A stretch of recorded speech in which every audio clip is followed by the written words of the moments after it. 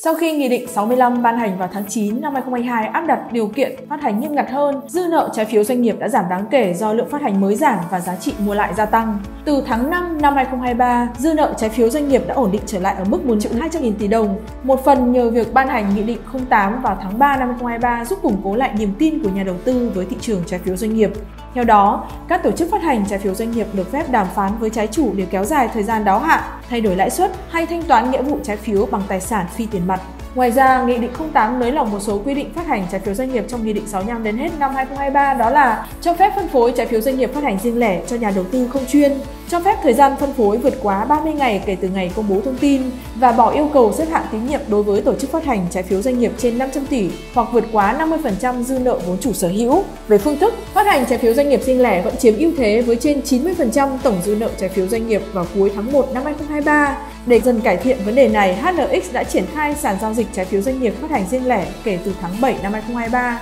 nhằm tăng cường tính minh bạch và công bố thông tin của các tổ chức phát hành riêng lẻ. Giá trị phát hành mới đã hồi phục trong 6 tháng cuối năm 2023, chủ yếu do tác động của Nghị định 08, ngành ngân hàng dẫn đầu về giá trị phát hành mới. Trong khi đó, ngành bất động sản và các ngành khác vẫn có giá trị phát hành ở mức thấp, đặc biệt là so với giai đoạn 2020-2021. Nhìn chung, trong năm 2023, tổng giá trị trái phiếu doanh nghiệp phát hành mới đạt 341.000 tỷ đồng, tăng 26% so với mức nền thấp của năm 2022, khi giá trị phát hành mới giảm 64%. Trong thời gian tới, do một số nới lỏng trong điều kiện phát hành trái phiếu doanh nghiệp đã hết hiệu lực vào tháng 12 năm 2023, hoạt động phát hành trong những tháng tới sẽ cho thấy tính bền vững trong sự phục hồi của thị trường trái phiếu doanh nghiệp.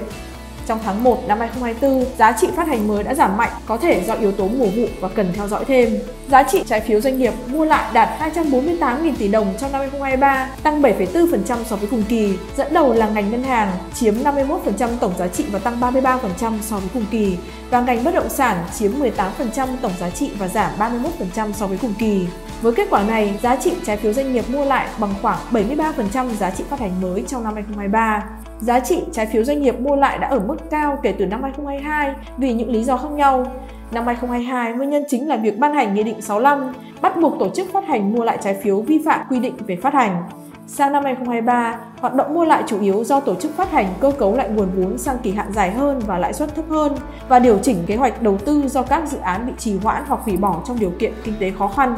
Giá trị trái phiếu doanh nghiệp chậm trả mới đã giảm từ tháng 3 năm 2023, một phần do tác động của Nghị định 08 cho phép tổ chức phát hành điều chỉnh các điều khoản như kéo dài thời gian đáo hạn và cho phép thanh toán bằng tài sản phi tiền mặt. Tính đến tháng 1 năm 2024, giá trị lũy kế của các trái phiếu chậm trả bằng khoảng 8% dư nợ trái phiếu. Ngành bất động sản có giá trị trái phiếu chậm trả và sửa đổi điều khoản cao nhất, cho thấy các doanh nghiệp trong ngành này vẫn đang gặp nhiều khó khăn về tài chính. Năm 2023, số công ty bất động sản phải tạm dừng hoạt động đã tăng 47%, số lượng môi giới cũng đã giảm 80%. Như đã đề cập trước đó, nhiều tổ chức phát hành đã thương lượng để kéo dài kỳ hạn trái phiếu, khiến áp lực đáo hạn giảm đáng kể trong 6 tháng cuối năm 2023. Chúng tôi ước tính khoảng 20% giá trị trái phiếu doanh nghiệp có ngày đáo hạn ban đầu năm 2023 đã được hoãn lại sang 2024 và 2025. Do đó, cao điểm đáo hạn trái phiếu doanh nghiệp đã lùi sang giai đoạn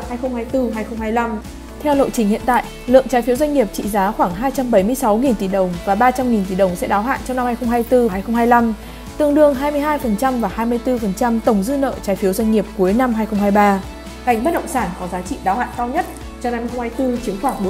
44% tổng giá trị đáo hạn. Từ tháng 7 năm 2023, Sở Giao dịch Chứng khoán Hà Nội HNX đã giới thiệu sàn giao dịch thứ cấp dành riêng cho trái phiếu doanh nghiệp phát hành riêng lẻ nhằm tăng tính thanh khoản và nâng cao tính minh bạch cho cơ quan quản lý và nhà đầu tư. Nền tảng này được thiết kế riêng cho các nhà đầu tư chuyên nghiệp được các công ty chứng khoán xác minh để đảm bảo tính tuân thủ trong quy định giao dịch. Từ thời điểm thành lập, giá trị trái phiếu doanh nghiệp niêm yết trên sàn giao dịch của HNX đã tăng đáng kể. Tính đến hết tháng 1 năm 2024, giá trị trái phiếu doanh nghiệp niêm yết đã bằng khoảng 52% tổng dư nợ trái phiếu doanh nghiệp. Điều này đã giúp giá trị giao dịch trên sàn trái phiếu doanh nghiệp riêng lẻ của HNX tăng đáng kể, vượt mức 3.000 tỷ đồng trung bình mỗi ngày trong 3 tháng gần đây. Các tổ chức phát hành có giá trị cao nhất kể từ khi sàn giao dịch hoạt động là BIDV,